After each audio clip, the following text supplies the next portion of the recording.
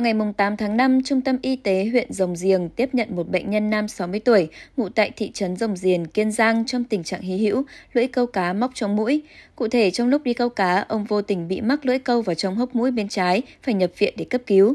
Bác sĩ chuyên khoa 1 Nguyễn Hoàng Quý, trưởng khoa tai mũi họng Trung tâm Y tế huyện Rồng Giềng cho biết, ông mời nhập viện cấp cứu trong tình trạng chảy máu mũi bên trái. Qua nội soi thấy dị vật móc câu ở vùng cuốn mũi giữa bên trái, phần móc nhọn cắm vào vách ngăn mũi gây dỉ máu. Sau khi xem xét tình hình dị vật, các bác sĩ tiến hành đặt thuốc tê và thuốc co mạch cho bệnh nhân. Sau đó, bệnh nhân được lấy dị vật qua nội soi và xuất viện ngay sau khi lấy dị vật. Bác sĩ Quý cũng cho biết thêm, sau khi hút sạch kiểm tra không thấy máu chảy thêm, bệnh nhân được về ngay. Bệnh nhân được dặn dò vệ sinh mũi, tái khám khi có bất thường.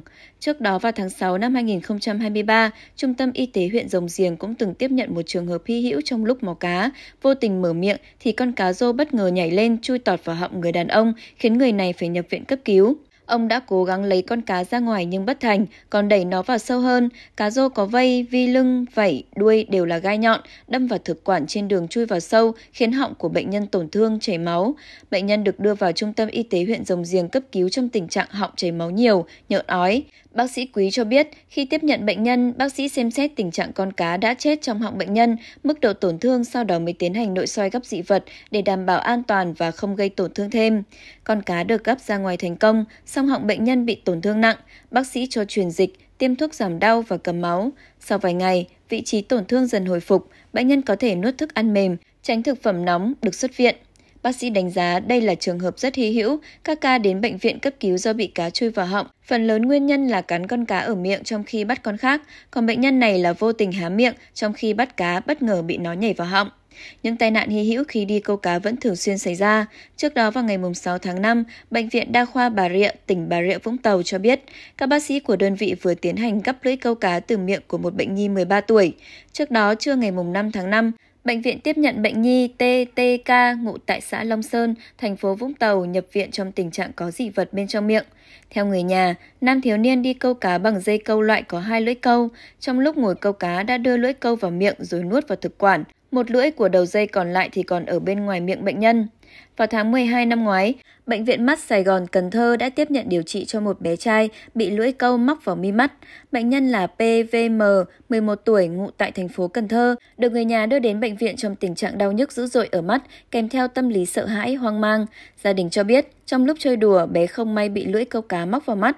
Qua thăm khám, bác sĩ xác định tình trạng lưỡi câu móc vào mi dưới có nguy cơ tổn thương giác mạc.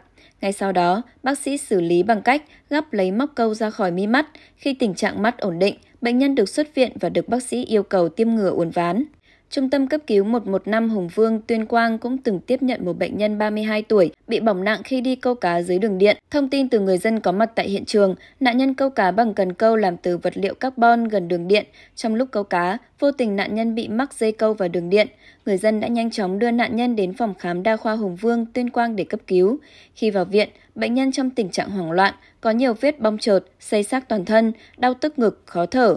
Bệnh nhân được hồi sức, giảm đau, chống sốc, vệ sinh băng bỏng vùng tổn thương. Bệnh viện Hùng Vương cũng cho biết, chỉ trong vòng 2 tháng đã tiếp nhận hai nạn nhân bị điện giật khi đi câu cá. Trường hợp trước đó là một bệnh nhi 12 tuổi. Bệnh nhi này đi chân đất câu cá bằng cần câu tại ao gần đường điện cao thế, bị điện phóng vào người ngã xuống nước. Em bé được người đi cùng phát hiện và đưa lên bờ trong tình trạng bất tỉnh. Để phòng tránh những tai nạn khi đi câu cá, cần thực hiện các biện pháp sau đây.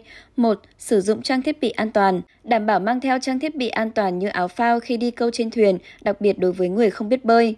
Luôn tuân thủ quy tắc an toàn, kiểm tra trang thiết bị. Trước khi câu cá, hãy kiểm tra trang thiết bị câu cá bao gồm dây câu, mồi và dụng cụ câu cá, đảm bảo hoạt động đúng cách và không gây nguy hiểm.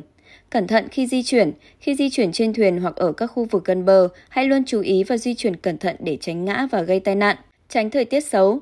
Tránh đi câu cá khi thời tiết xấu như gió mạnh, mưa lớn hoặc có sóng lớn, vì điều này có thể tạo ra nguy cơ gây tai nạn. Cẩn thận với các dòng điện cao thế.